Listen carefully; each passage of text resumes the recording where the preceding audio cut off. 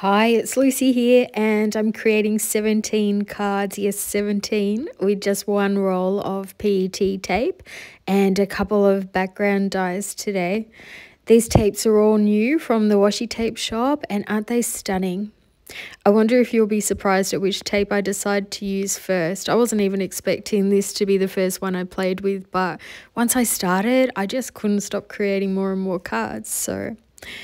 I was also using my fun background dies too again, so it made them super easy to make.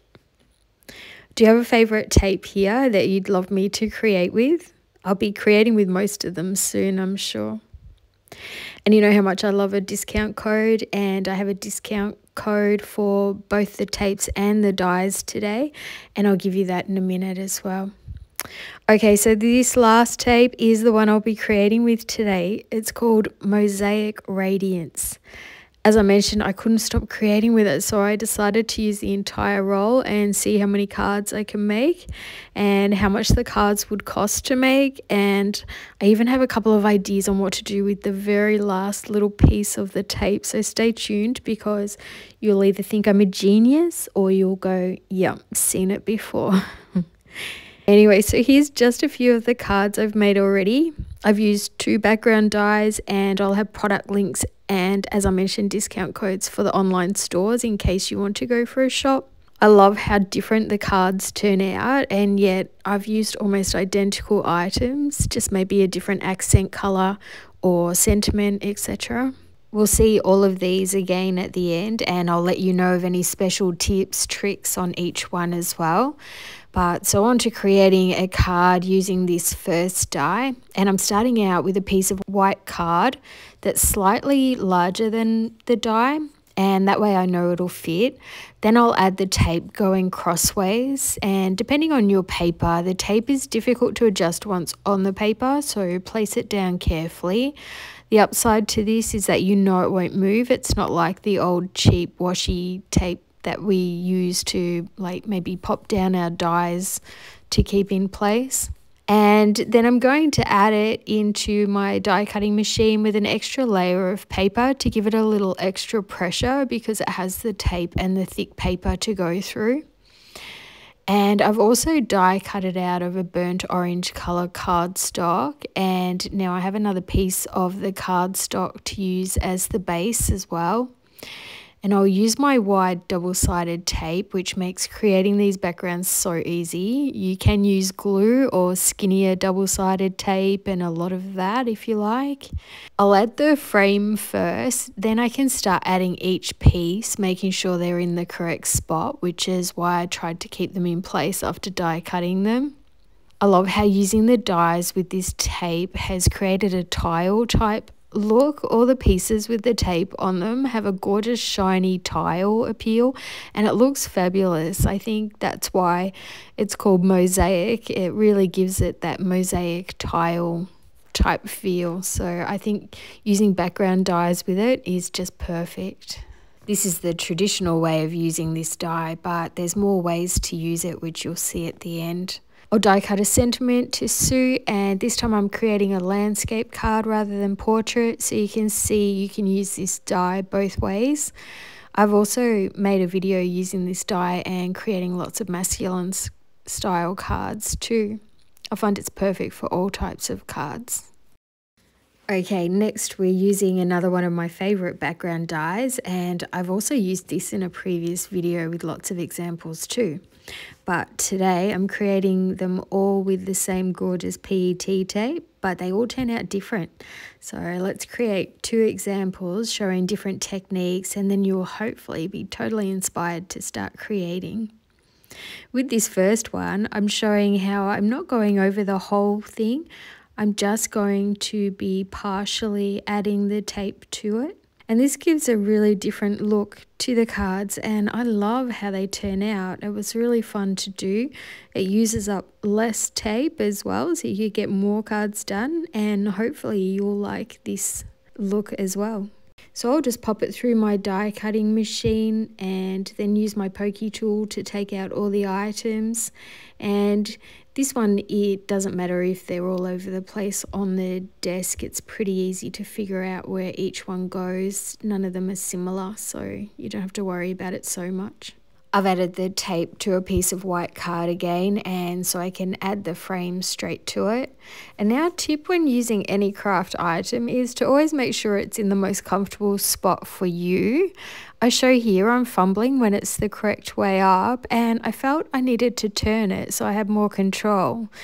I'm not sure why but just never think that just because the finished product will be facing one way you have to create with it that way up. I hope that makes sense. I just felt much more comfortable doing this on the side. Oh, and the rest of the die cut pieces won't be wasted. I'll create another card with the opposite frame and outlines, so I'm using up more pieces with no extra die cutting. I did find the next day one of my sentiments didn't feel that secure with just my glue. I guess every glue can't stick everything down, but I added some double-sided tape, then the glue, and that sealed it onto the card perfectly. I know some of you bought the same glue as me, so I wanted to let you know I found its kryptonite. For the heart on this card, I decided that I would emboss it so that it wasn't just plain white, but I didn't want to add more tape to it. And this was a really nice contrast. I forgot to mention this tape comes in washi tape too, so if you prefer a matte background rather than the glossy background, this will be a perfect option if you were doing this same thing. You could pop it down on white card and it would just give you a matte finish. And this tape is gilded too, so it has beautiful gold accents on it and it also does on the PET tape as well. Um, on the washi tape as well.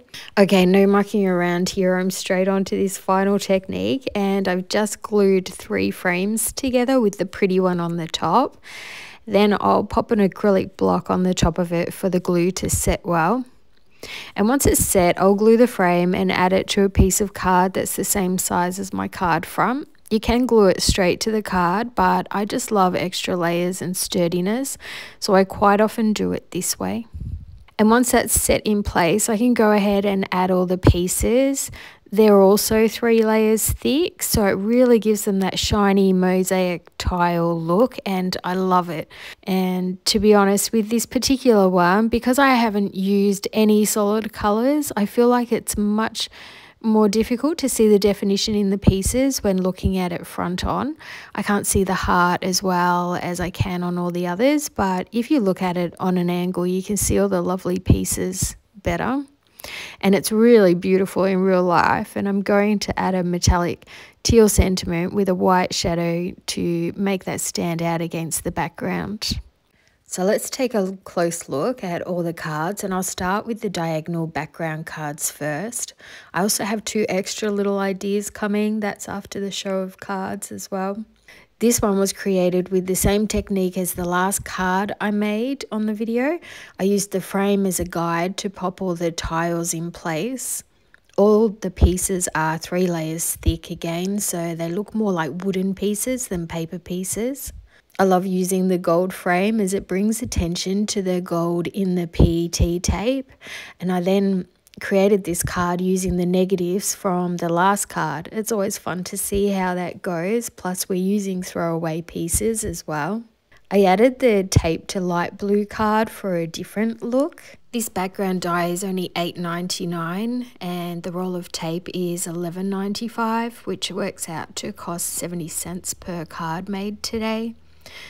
And these prices I'm giving are without my discount codes, which will bring it down further. So if you love any of these products I've shown today, I have product links and discount codes in the description below. Use code LucyPatrick10 to receive 10% off your order at the washi tape shop and use code Lucy25 for 25% off your order at Inlovearts. And I'll earn a small commission if you purchase through my links below. So thank you if you choose to use them. This really helps me continue creating my YouTube videos. And this next card was made the same as the second card here, but I wanted to show you how we could add a circle sentiment to the center as well. So I didn't attach a sentiment so I could show you both options. I'd love to hear what you liked best about this video today and whether it's given you any ideas. Then we move on to the next background die and this one is on sale at the moment from $12.99 to $7.99 but I'm not sure for how long. I just saw it on the website now.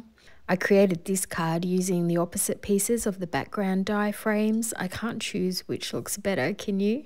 I created this one for a Canadian craft friend I met on Instagram. Hi Lisa, if you're watching. I used a random piece of teal pattern paper, which I thought goes beautifully with this tape. The pieces in this are all three layers thick, but the frame is only two layers. Ooh, next is very flashy with gold and metallic red card to create the framework. What do you think with two metallics?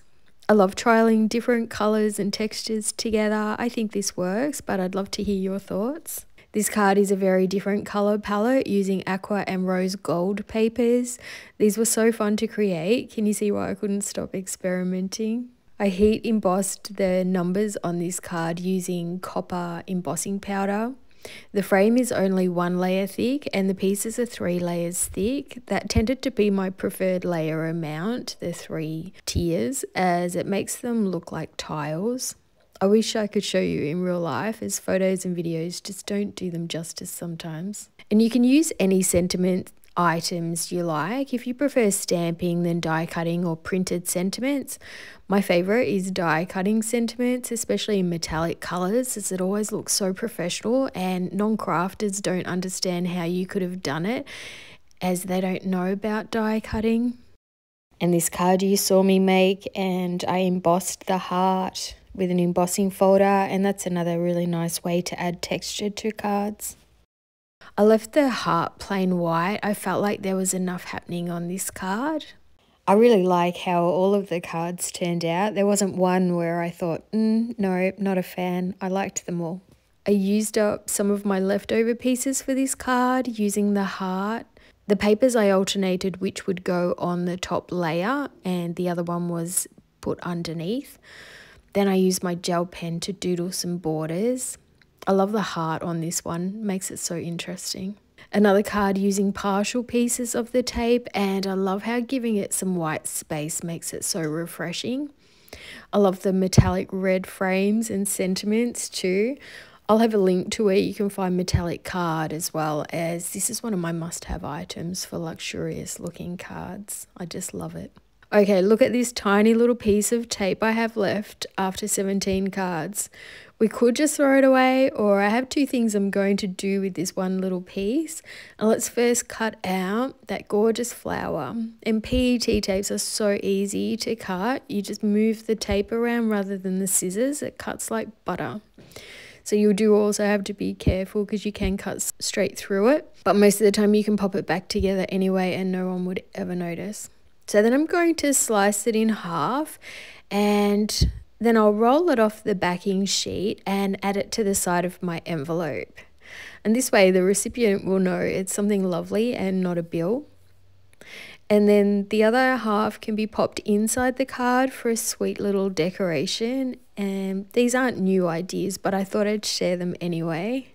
So thank you so much for watching. I hope you've enjoyed this video as much as I enjoyed creating these cards. I really hope it's inspired you to see what you have in your stash or go shopping for new goodies and then create some fun easy cards like this. It's really important to me that you give this video a thumbs up if you liked it as this shows YouTube it's a good video so they share it with more people and speaking of sharing please let any of your craft friends or groups know about my channel. I have some really fun, beautiful card making videos coming soon. So click the notification bell if you don't want to miss them.